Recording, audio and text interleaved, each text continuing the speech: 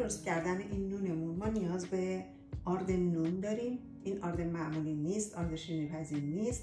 آرد نون هست که پروتئینش معمولا هممون می‌دونیم که بالاست. به اندازه 200 گرم یا یک و یک دوم پیمانه. من از پیمانه های استاندارد شیرینی پزی استفاده می‌کنم و اینکه طرز اندازهگیری آرت ها توسط پیمانه ها داخل اینستاگرام هایلایت شده. شیر داریم. به اندازه 130 میلی لیتر یا یک دوم پیمانه به اضافه دو قاشق غذاخوری. شکر داریم به اندازه 15 گرم یا یک قاشق غذاخوری. شیر اصلی داریم به اندازه 20 گرم یا یک قاشق غذاخوری. نمک داریم به اندازه 3 گرم یا یک دوم قاشق چای خوری و خمیرمایه فوری به اندازه 3 گرم یا یک قاشق چای خوری همونجور که ملاحظه می‌فهمین گرم خمیرمایه فوری با گرم نمکمون یکی هست ولی از نظر حجمی این بیشتر از اون نشون میده. به خاطر اینکه وزن خمیرمایه‌مون بسیار بسیار سبکتر از وزن نمک هست. اگر سوال براتون پیش اومد دلیلش همین هست. شیر رو و خمیرمایه فوری رو و شیر اصلی رو و شکر رو. همینجا با هم دیگه مخلوط می‌کنم. حواسمون باشه که تمام این موادمون همدمای محیط هستن. خیلی خوب این رو هم می‌زنیم و کنار می‌گذاریم. برای حدوداً 4 5 دقیقه. آردمون رو علک می‌کنم.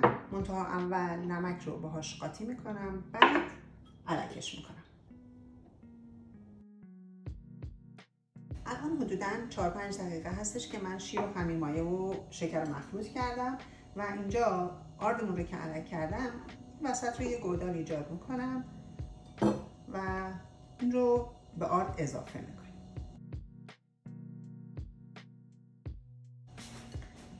حالا شروع می‌کنیم. خیلی آروم با نیستن این رو هم زدن. تا حدی که اینا کاملا با هم دیگه قاطی بشن و یه گلوله تشکیل بشه. که ملاحظه میفرمایین الان ما یک خمیر کاملا ناصاف و ناهماهنگ داریم. ببینید تیکه تیکه بریده بریده و به این صورت هست. حالا من این رو منتقل می‌کنم به سطح کار و شروع می‌کنم به ورز دادن. من خمیرم رو برمیگردونم روی سطح کار. یه ظرفم کنار دستمون از آرد داشته باشیم که گاهی اگر خیلی چسبندگی به سطح کارمون داشت خیلی کم بپاشیم روی سطح کار. ولی سعی بکنیم تا اونجا که می‌تونیم این کار رو انجام ندیم شروع می‌کنیم این خمیر ناصاف رو به این شکل ورز میدیم جمعش می‌کنیم. با این قسمت دست. ببینید یکم چسبندگی داره اما اصلا نگرانش نباشین. تا اونجا که می‌تونین یکم تحمل بکنین که خمیر اون دست به دست هم دیگه بده و بتونیم یه خمیر نسبتا صافی داشته باشیم.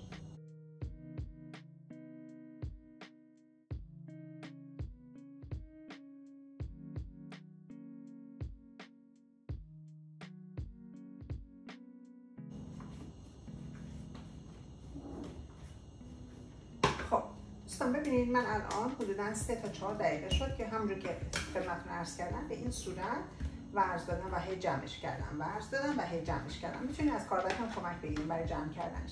و اصلا هیچ آردی من به این اضافه نکردم.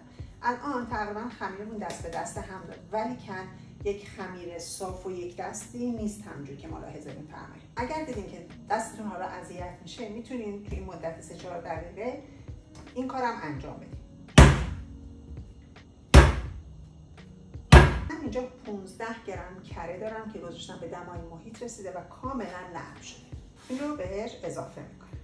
حالا یکم روی خمیر پخشش می‌کنم. شروع می‌کنیم به جمع کردن این و سعی می‌کنیم که تمامی این کره رو ما به خمیرمون قشنگ وز بدیم و با هم دیگه مخلوطش بکنیم. الان ببینید تبدیل میشه به یک خمیر تیکه تیکه و بسیار ناهماهنگ. ما این می‌تونیم اینجوری این اینکه خمیر رو از همدیگه پاره می‌کنیم به این صورت تیکه تیکش بکنیم تا بتونیم به تمامی قسمتاش اون کره رو برسونیم.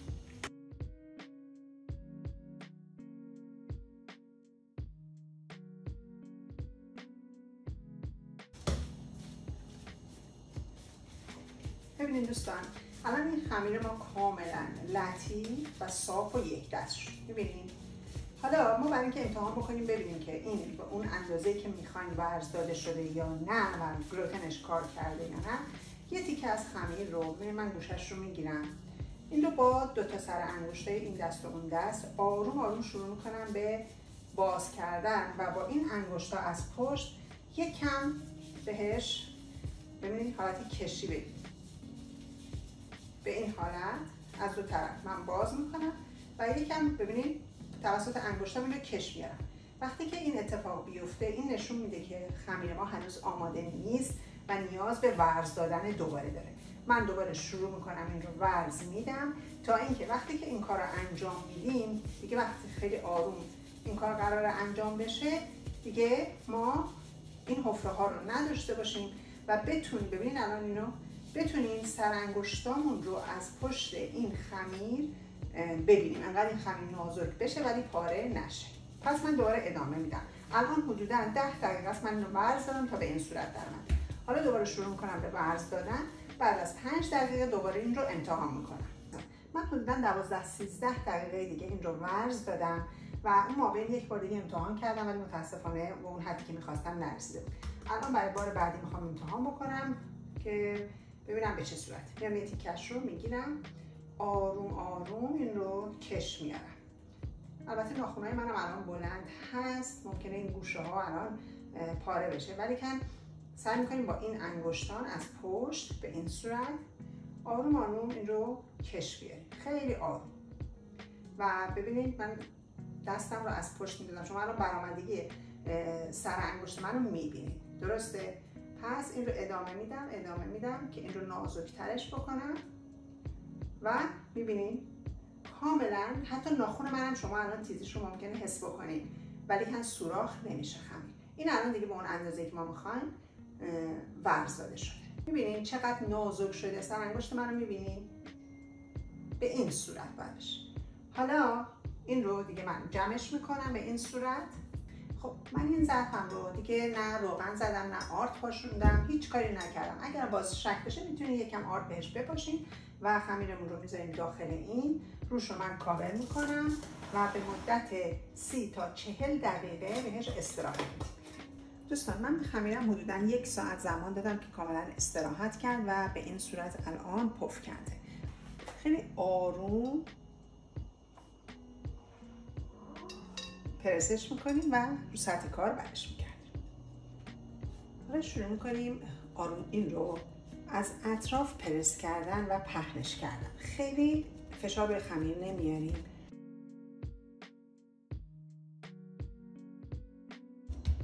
حالا اینو به دو قسمت مساوی به صورت چشمی تقسیمش می‌کنیم.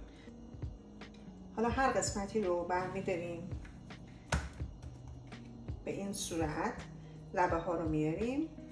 و به سمت مرکز جمعش می‌کنیم تا بتونیم یه چونه داشته باشیم.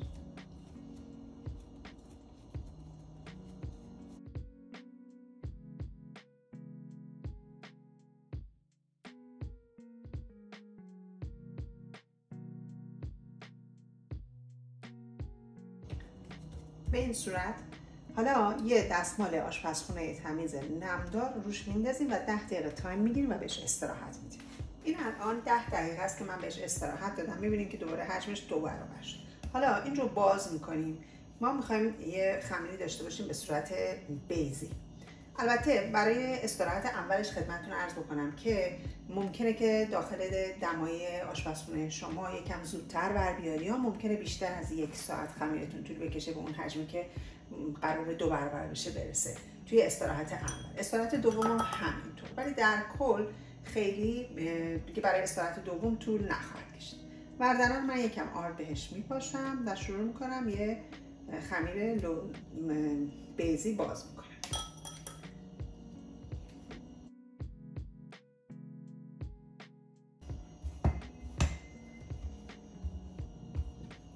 به حالا ما می‌بینیم دو طرف رو به سمت مرکز جمعش می‌کنیم. این لبه رو میاریم به سمت مرکز. و شروع می‌کنیم این لبه ها رو پرس کردن.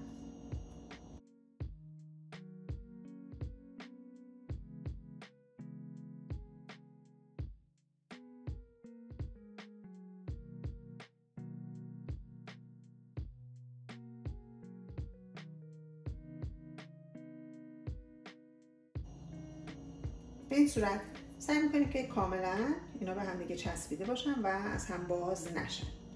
اینجا من یه سینی فر دارم که کفش کاغذ روغنی انداختم و اینکه اگر که احساس می‌کنین که ممکنه کاغذ روغنیتون خمیرتون بهش بچسبه و از کیفیتش مطمئن نیستین خیلی کم می‌تونین آرد روی سطح کاغذ روغنیتون بپاشید حالا من این خمیر رو بلند می‌کنم و از اون قسمتی درز داره به روی کاغذ روغنی قرار میدم.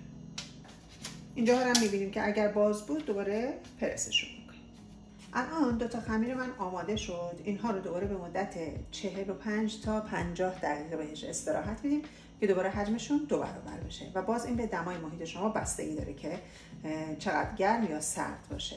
روش رو با یه دستمال مرتوب میپوشونیم.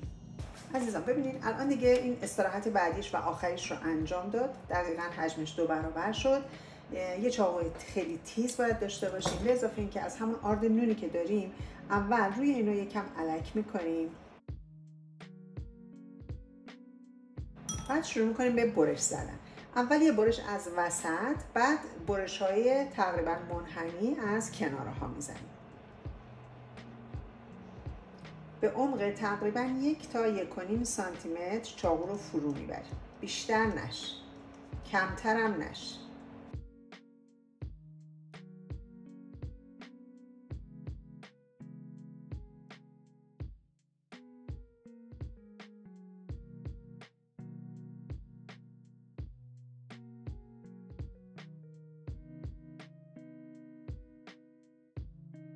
به این صورت الان اون یکی هم من انجام میدم. این میره داخل فری که از قبل 190 درجه من گذاشتم گرم شده. اگر فرتون برقی هست ولی اگر گازی هست حدودا 20 درجه بهش درجه رو اضافه می‌کنین و می‌گذارین داخل فر به مدت تقریبا 10 تا 15 دقیقه. باز هم بستگی به دمای فر شما داره. ممکنه کمتر و یا ممکنه یکم بیشتر طول بکشه. به محض اینکه روی نون ما طلایی شد ولی قسمت هایی که آرد داره ممکنه اونقدر طلایی نشه. فقط باید دقت بکنین که نسوزه. نون ما آماده است.